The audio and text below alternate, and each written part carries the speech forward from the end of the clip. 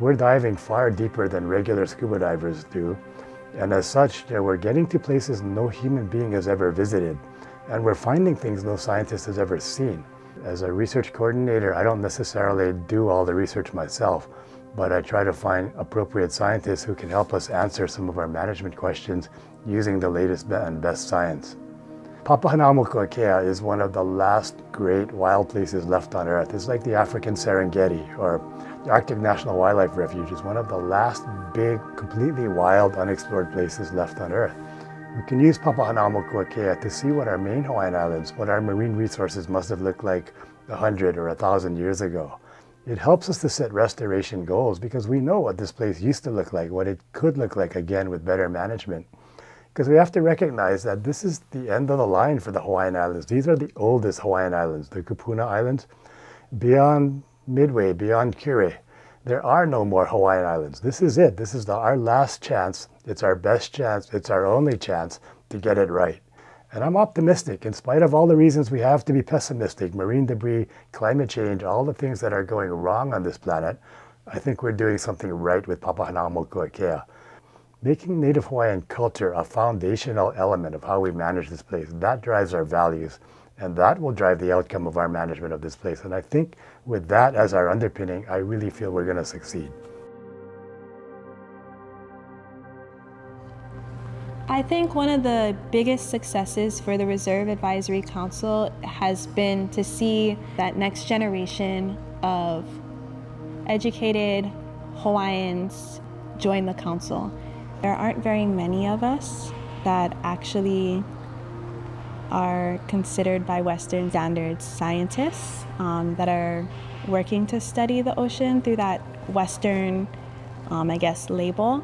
Through the mega labs, through the work that we do, we're really trying to shift that narrative. We're trying to shift the way that we interact with our communities and we talk about the ocean and we talk about conservation and we talk about climate change and the ways in which we do that is we celebrate the whole self as a scientist.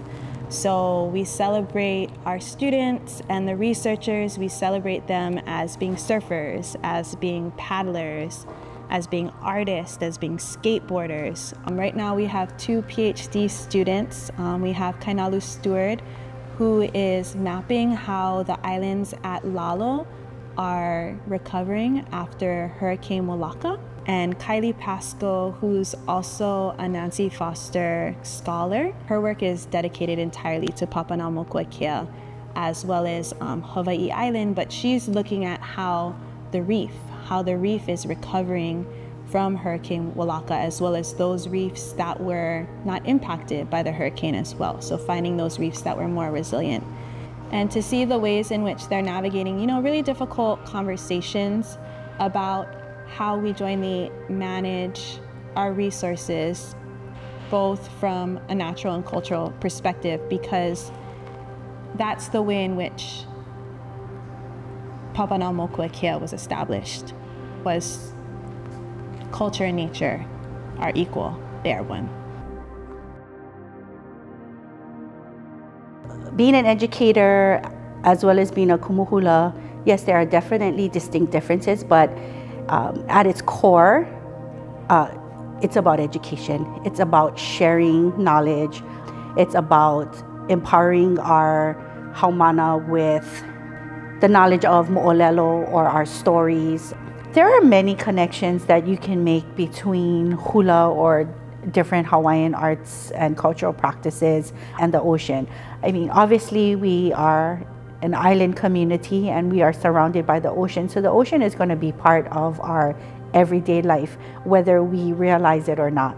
The connection to the ocean through hula is a strong one, it's a necessary one, and it's one that we value and re we respect. We don't have adornments if we don't have our natural environment. We do not have mele if we don't have the ocean or the rains or the winds or our deities that represented them.